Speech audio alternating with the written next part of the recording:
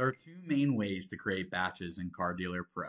If you go to the left-hand navigation and click the Batches button, which is the second one down, you'll go to the Batches screen. From there, you can review all of your batches and even see a preview of the images. If you want to create a new batch, go to the top right and click the button called Add Batch. That will go in and create a new batch. And also, from anywhere in the app, you can always go to the top left and click Add Cards, and you can create a new batch from there or add cards to an existing batch.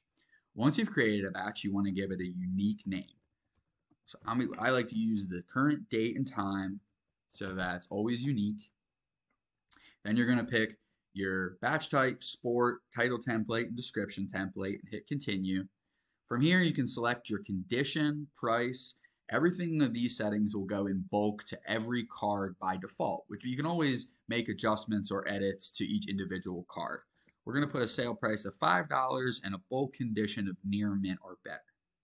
Scroll down to the bottom, hit create,